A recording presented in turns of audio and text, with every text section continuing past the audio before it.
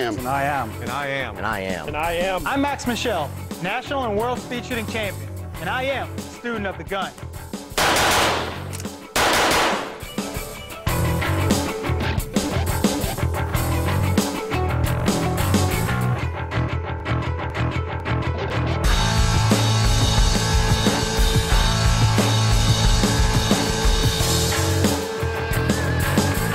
Man, give me five bucks. I know you got five bucks on you. Get back, Give me man. five bucks, man. Just get back, man. Get back.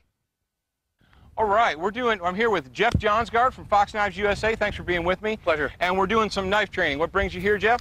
Fox Knives brings me here. They brought me on as a defensive tactics consultant due to my background with uh, renowned knife uh, trainer Kelly Worden. Fantastic.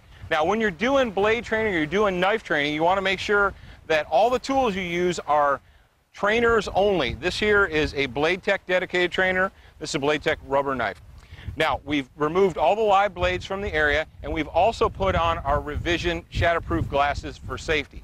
Now, as you guys may have noticed, Jeff used his pocket knife, he used his pocket folder as a defensive tool, but he didn't even deploy the blade. Oftentimes people will think, oh, if I'm going to use a knife, I have to stab somebody or cut somebody. Is that true? Do you have to actually stab somebody? Well, of, of course not. It's a common misconception. It can be used as a striking blunt. A blunt so I reach instrument. out and I grab a hold of you. And right there is where I attacked your hand, maybe towards the face, some sort of a pressure point, gaining distance, maybe to deploy other tools, etc. So you give me the opportunity to uh, adjust my behavior pattern, right? That's the one way Okay.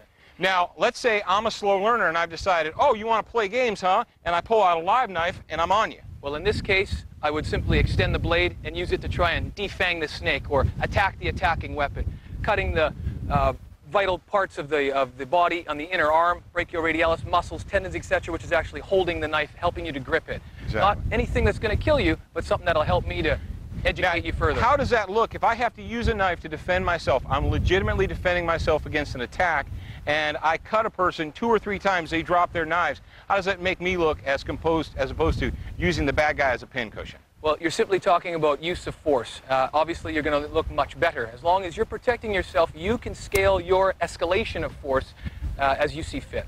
And also, would you uh, agree with me that by defanging the snake, you can end the problem a lot faster than doing the old pincushion technique? Is that correct? That is correct, and without causing really serious harm to someone.